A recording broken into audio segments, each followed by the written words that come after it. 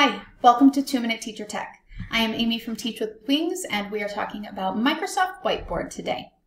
This video will have the very basics, opening Whiteboard and drawing and erasing in Whiteboard. Other videos will have some of the other features that I'm not getting to today. To get to Whiteboard, I just go ahead and search on my computer. I just typed in white down here at the search bar and here's Microsoft Whiteboard. When it first opens on your device, it may ask you to download the app or to sign in. If it does, go ahead and do that and you will be good to go.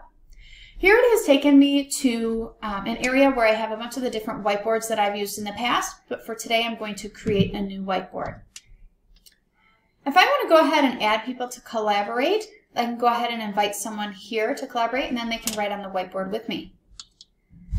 So you'll see down here there are various pen colors that I can just click on and use. So I can just get going right away, right on my whiteboard. Let's say I want to make that pen uh, thicker. I can always choose the different thicknesses here. And when I come back next time, it will have remembered what I used there.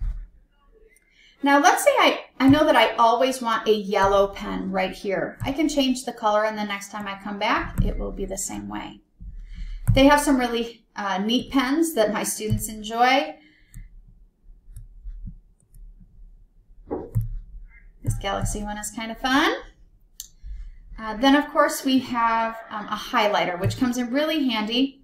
In another video, I'll, I'll show you how you can put a PDF or a Word document or other things on here. And the highlighter would come in really handy if you're trying to draw attention to certain parts of the text. Uh, if you want to highlight uh, parts of speech in different color. Uh, and you can change your highlighters along the way. So here's a really thick highlighter. We could do something thinner and a different color. Um, so that's a really neat feature as well.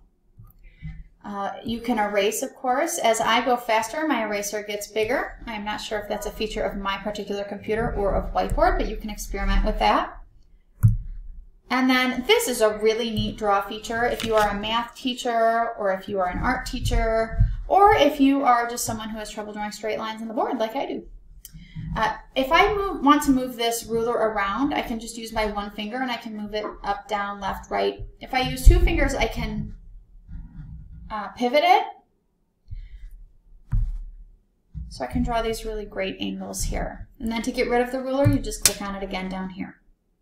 So those are the very basics of Microsoft Whiteboard. Uh, just a great way to um, put your ideas together. You can send it off to OneNote. Uh, you can save it for the future, but Microsoft Whiteboard is a great way to collaborate and to get your whiteboard into a digital format, especially for your students who might be at home. Have a great day, and I hope you'll see me again on another video.